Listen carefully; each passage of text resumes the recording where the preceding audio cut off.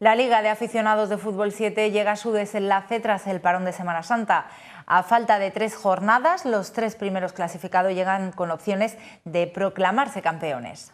La Liga de Fútbol 7 llega a su tramo final y tres equipos, Juventus de Alcorrín, Ortega Vilés y Plaguirronda los Ibéricos, optan al título a falta de tres jornadas. Mañana viernes el Campo de las Viñas acoge el primero de los partidos que corresponde a la vigésima jornada de Liga. De esta manera, a partir de las 9 de la noche se enfrentan Hilat y Vinagre Codesur Rafalux. El resto de partidos se jugarán el sábado. A las 12 y cuarto, Ortega Vilés se mide ante un rival complicado como Atlético Hondón. Tampoco lo tendrá fácil Plaguirronda los ibéricos, que se las verá con Amex Administraciones.